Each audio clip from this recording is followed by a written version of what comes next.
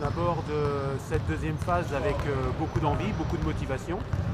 On a un, bon groupe qui est prêt à, travailler euh, et à aborder cette compétition de deuxième phase dans les meilleures conditions. maintenant, on a un accueil qui est extraordinaire au niveau de la, Tunisie et de la fédération. Ils sont disponibles.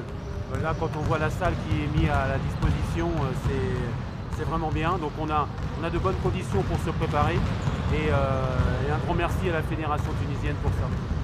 Euh, pourquoi le choix de la Tunisie bon, Le choix de la Tunisie s'impose euh, déjà par rapport à la compétition qu'on joue, dans la mesure où la deuxième phase a lieu en Égypte, donc c'est intéressant d'avoir un pays qui correspond un petit peu au niveau du climat.